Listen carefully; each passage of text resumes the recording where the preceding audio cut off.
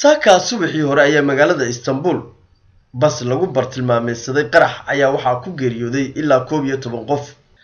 Qaraxan oo meel kale laga hagayey ayaa la sheegay in lagu rakibay bas intii uu dhex mariyey deegaanka fesnisiler oo inta badan subaxii salaada hore marka la shaqo tegayo mashquul badan.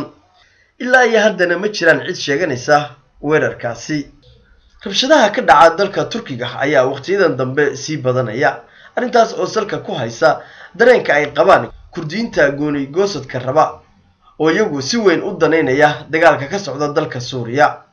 Qaraxan waxa uu ka dhacay agaarka fagaaraha bayensi oo ah mid taariikhi ah halkaas oo dalxiisayaashu ku badan yihiin indhahoodana ay soo jiitaan. Sida uu sheegay guddoomiyaha caasimadda istanbulna qaraxaasi waxaa ku dhaawacmay ilaa lix iyo soddon ruux.